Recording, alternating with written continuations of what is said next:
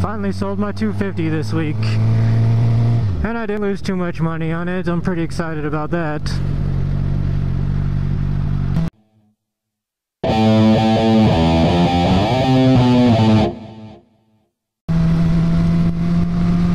What's up YouTube? Dapper Dan here. Uh, it's a little bit cold day here in Colorado. It's probably, I don't know, 60 degrees right now. It definitely got colder a little faster than I thought it was going to. Anyway, uh, today we are going to be talking about lane splitting. As some of you may know, uh, California recently, actually this past week, officially made lane splitting completely legal in that state.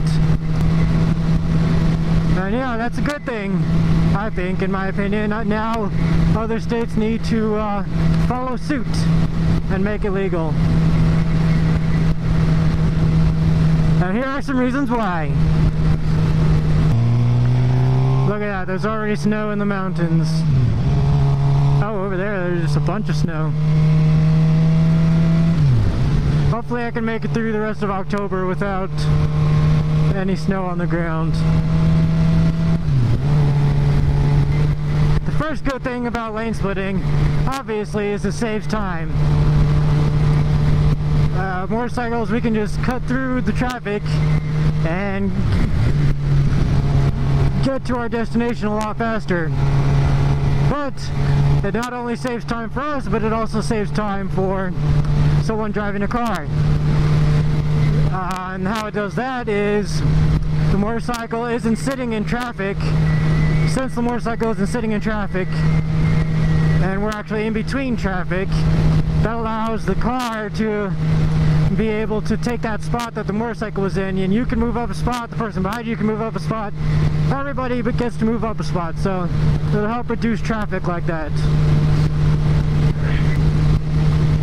And another reason that it's a good thing is motorcycles will not overheat in traffic especially air-cooled bikes if they're just sitting in traffic, they definitely will overheat.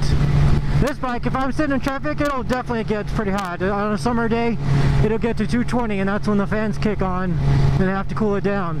But if we're split lanes and in between traffic, we'll get nice airflow and keep the bikes cooler.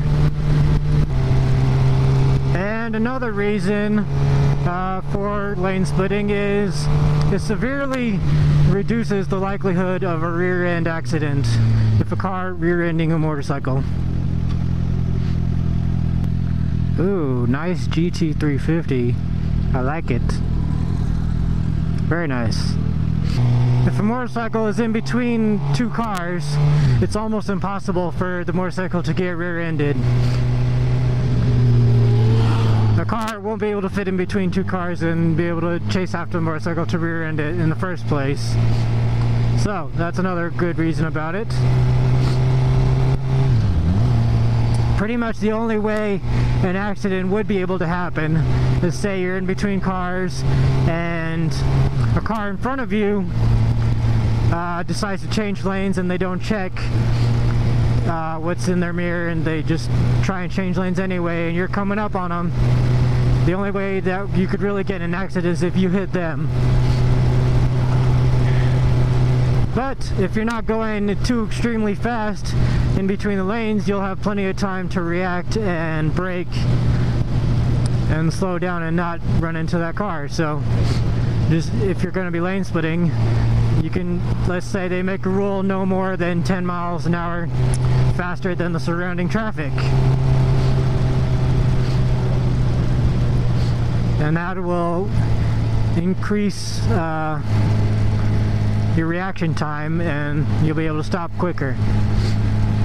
You can react faster to what's in front of you and you don't have to worry about what's behind you really and what's on either side because you got cars on either side of you that aren't hopefully aren't changing lanes. The problem with it not being legal is people who drive cars are not going to be expecting it, so if they ever did legalize it, they would definitely have to put the word out that it's legal and inform people, inform everybody that it's going to be happening because drivers won't be expecting you to be going in between the lanes. And half of these people out here on the road are texting and driving anyway, so they're not even paying attention. But once it does become legal, um, people will start to expect it some more after about a year. Then they'll be fully used to it and educating all the new drivers about it as they're getting their license will, will definitely help as well. They're going to have to set some rules in place uh, for lane splitting whenever it does become officially legal everywhere. Like it obviously wouldn't work on a single lane road like this. There's nowhere to split between lanes unless you want to go into the bike lane on the side of the road or into oncoming traffic, which both are potentially very dangerous. So they'll have to make some kind of rules for that.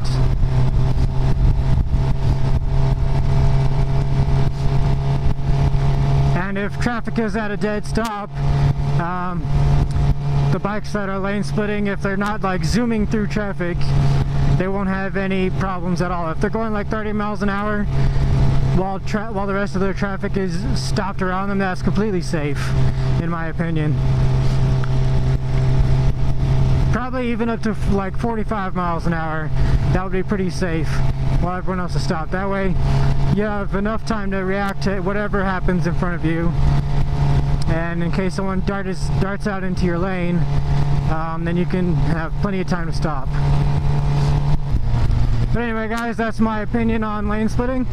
Hopefully California did it and hopefully the rest of the states will follow suit. I do think it really is a little bit safer for motorcycles It's legal in most countries around the world and the only place it's technically legal in the United States is California so the rest of the states can follow through and the world will be a better place. But anyway guys, that's all I got for right now. Thanks for liking, commenting, and subscribing, and have a good day.